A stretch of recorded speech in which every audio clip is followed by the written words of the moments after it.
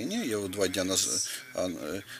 И давайте я запустим. Добрый день, меня зовут Петр Криворучко, я хирург, оперирую, собственно, прошу операцию на молочной железе. И перед началом презентации хотел бы поблагодарить Екатерину Бусько за возможность сделать свое сообщение. И, и давайте начнем нашу, скажем так, вечеринку.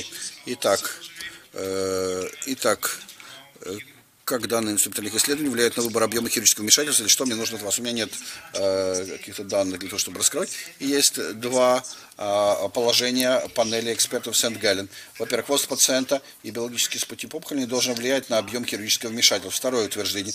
Риск локального рецидива зависит от качества э, оперативного вмешательства и системной терапии, но не от биологии опухоли. Это приводит нас к следующей современной догме. Большая операция не является лучшей операцией.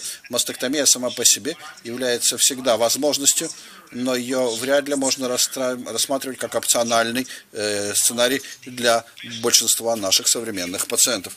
Если мы посмотрим на глобальные тренды в э, операциях на молочной железы, органы, органосохраняющие операции являются ведущим типом вмешательств. Односторонняя мастектомия, э, ее частота снижается стабильно за последние скажем, десятилетия, и частота двусторонней мастектомии также выросла в США э, э, за счет достижения реконструктивных техник и также в основном за счет того, что мы получаем высококачественные эстетические исходы благодаря э, э, результатам исследований доктора Ковала, которые были представлены на симпозиуме по, ракам, по РМЖ в Сан-Антонио в 2018 году, было сказано, что органосохраняющие операции на молочной железе обеспечивают лучшие результаты, лучше, больше удовлетворенность пациентов с более э, хорошим, с лучшим результатом и лучшим психоэмоциональным статусом.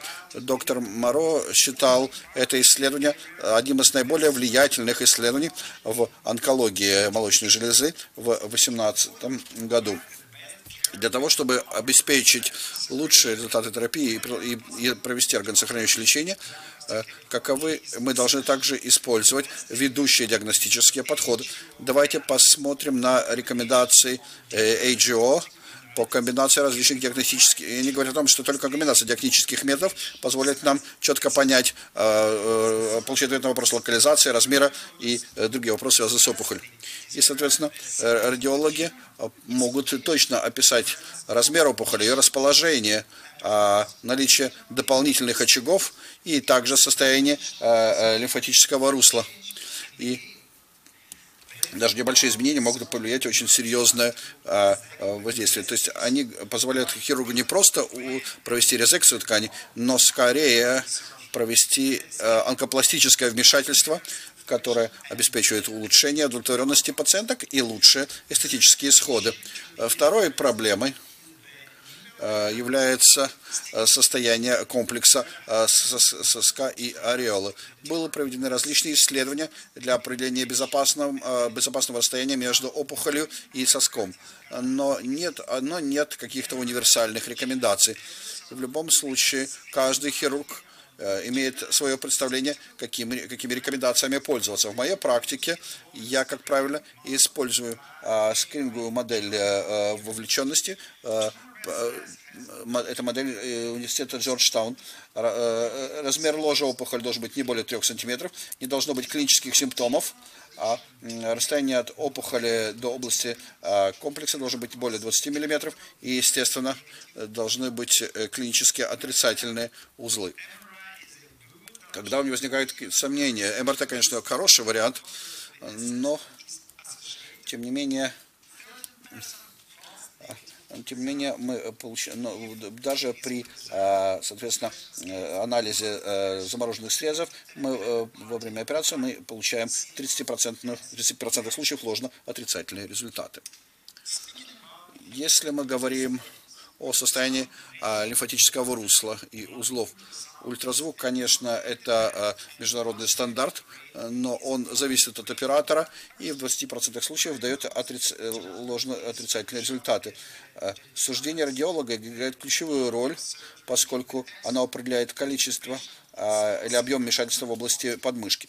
Если пациент э, считается положительным по узлу, то мы не можем провести биопсию сторожевого узла при проведении полного скажем так, клиренса, что ли, в подмышечной области мы сталкиваемся с высокой частотой осложнений и снижением качества жизни. Итак, что же, же можем сделать выводы? нам нужно, во-первых, что мне нужно? Первично оценку опухоли. Тип просто размер, локализацию, ориентацию, поражение окружающих тканей, если возможно. Если если применялась неодевантная системная терапия, то нужно, чтобы была проведена оценка э, ответа на лечение. Далее нужно оценить состояние региональных лимфоузлов. Если была проведена неодевантная системная терапия, нужно оценить ответ на терапию, в частности, оценить дифференцировку кортикомедулярного состояния узла. Далее поражение э, комплекса сосок ореола. Здесь нужно оценить состояние до первичного узла. Когда мы оцениваем состояние лимфоузлов, мы однозначно полагаемся не только на данные УЗИ и пальпации. В моей практике я предпочитаю работать, э, скажем так, максимально безопасно, использовать технологии эффект э, для эффект КТ, и это является стандартной процедурой у меня в отделении.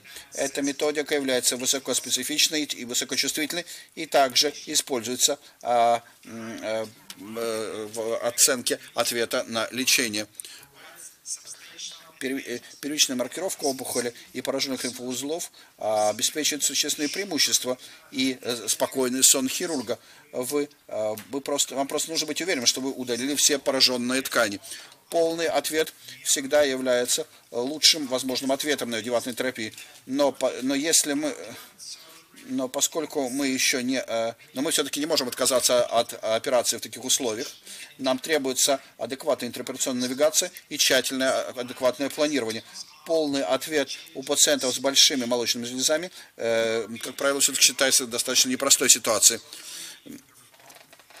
Если мы можем э, если вы не уверены в состоянии операции с точки зрения границ опухоли, приводит к тому, что вы будете постоянно нервничать и в ожидании результатов патоморфологического исследования, ощущая себя э, как вот это вот, э, э, как этот, э, скажем так, что видите на э, рисунке.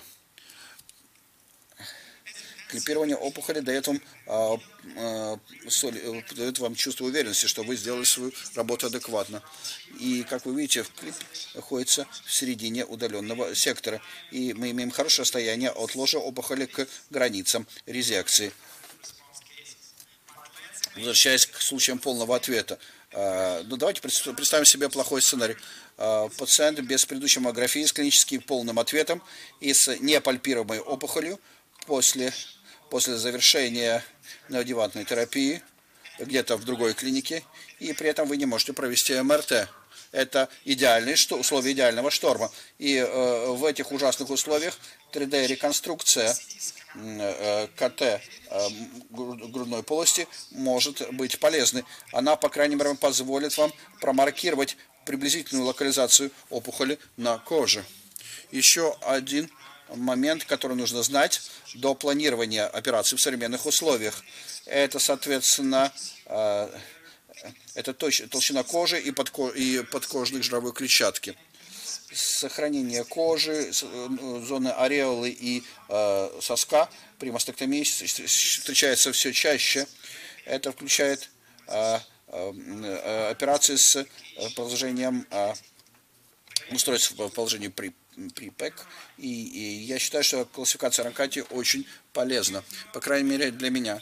Вы знаете, да вы знаете даже лучше, чем я, его чувствительность и специфичность. Однако, когда я вижу вот такую картинку, я не могу я могу быть готовым к некоторым таким кровавым моментам, и я благодарен за то, что я получил эти важные, э, скажем так, сведения.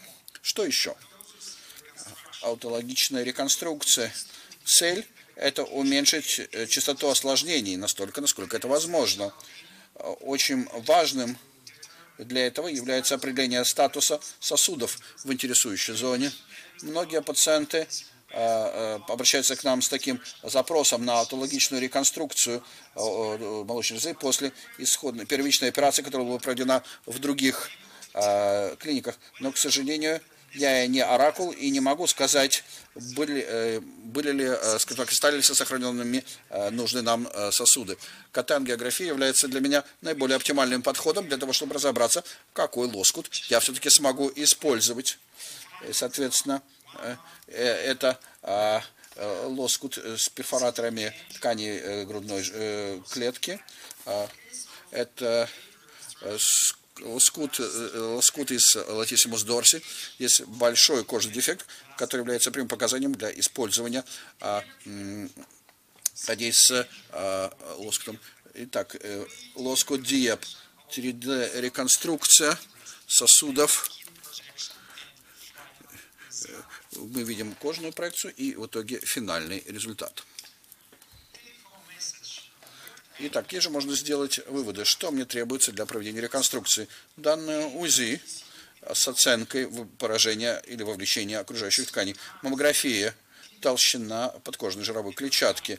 Данные МРТ, дополнительные, дополнительные фокусы данные э, э, по сосудистому, скажем так, аппарату в области э, соска и ореола, проекция опух, ложа опухоли на коже, если необходимо, и данные катанографии, в частности, данные по перфораторам, с и по проекции опухоли, ложа опухоли. И особая благодарность моей команде и